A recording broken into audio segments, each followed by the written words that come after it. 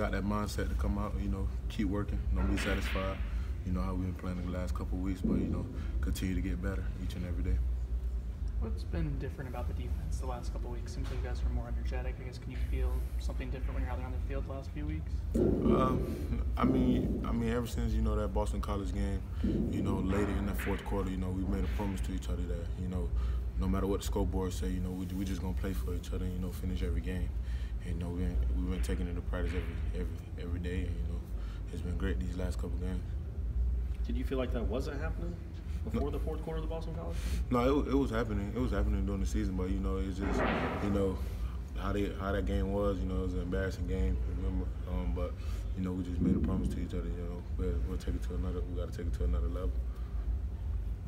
Derwin, Cam had a chance to become the, the all-time freshman leading rusher. Uh, would, Dalvin and DeVonta guys on that list. Just what does that say about him to be able to put himself in some of those guys so quickly?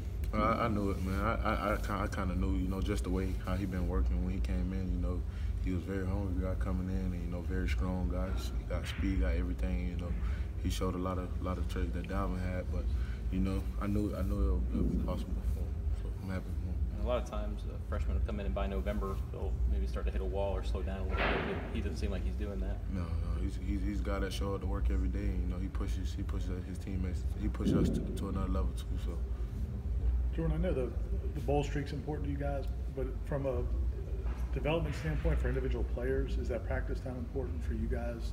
Yeah. Just get back to fundamentals. Yeah, it definitely, it definitely is. You know, you got those 15 days of practice. You know, some of the younger guys and you know guys that ain't really been playing like that. You know, get more reps and you know you can't simulate the the in-game reps. So it's good to get those uh, practice reps. Do you remember this from your freshman year? Was that? a Yeah, it, was- it was good. Um, yeah, we was in um, Houston. I remember. I mean, in, in the Georgia Georgia game, the Georgia bowl game. So it was it was good getting those reps. Derwin, if you guys make a bowl game, have you thought about if you're going to play or if you're going to sit out? Hmm? Would you play the bowl game or would you opt to sit out if you make a bowl I mean, it's another game. Of course, I'm gonna play. Like, I, I mean, I would not play, so that's another game. Any feelings if this is going to be your last home game on Saturday? Hmm?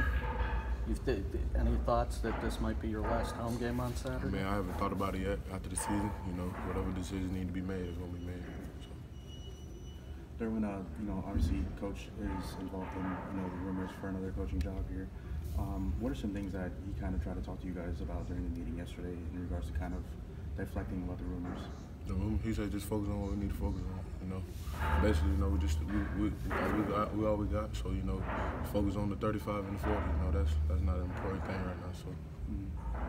How do you guys kind of take those rumors going on? I know you guys probably hear about them, you know, constantly. I mean, there's rumors about everything in this world, so you know you can't just let rumors, you know, stop what we trying to accomplish as a team. So, you know, it's, it's, it's always gonna be rumors, always gonna be different things. So we can't let that stop us.